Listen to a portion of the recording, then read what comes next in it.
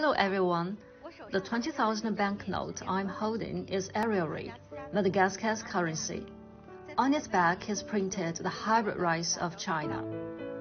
Madagascar, with a population of 28 million, has a rice planting area of 1.5 million hectares, accounting for more than half of the national crop planting area, making it an important rice exporting country in Africa.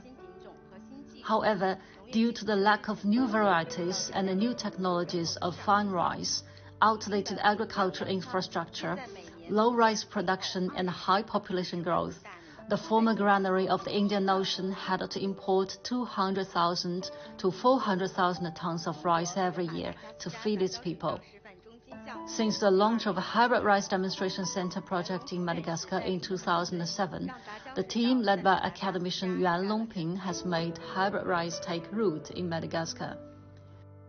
At present, hybrid rice has been planted in Madagascar over an area of 50,000 hectares, with an average yield of 7.5 tons per hectare and a maximum yield of 12 tons per hectare.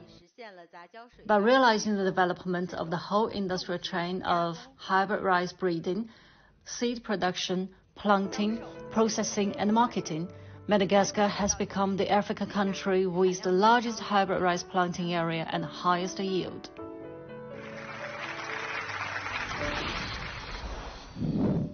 That brings me back to when I was traveling around the world. One of my favorite things to do is to collect the currency of that, that country because it's kind of like when you look at currency, it's like a little history book, right? Yeah. You flip through it, you see all the important people and all the historical moments. Because, as you know, uh, for example, in uh, the British pound, you have um, the Queen, Winston Churchill, and in America, you've got Lincoln and uh, Columbus, um, and in China, of course, Mao Zedong. Yeah. But in Madagascar, when you turn it over, it it's has the Chinese hybrid rice. Yeah. I mean, that is a huge salute to the impact that China had on not only their historical culture, but also the, the well-being of the people. I think is the highest form of acknowledgement for a country's, you know, country's aid.